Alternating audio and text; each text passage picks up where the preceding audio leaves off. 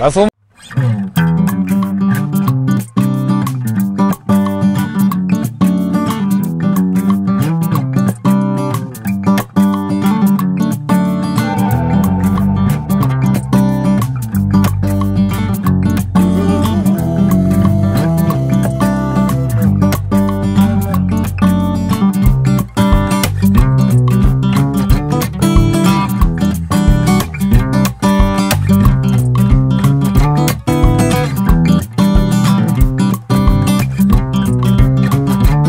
сексен түрі бар қазіргі кезде елу пайыздық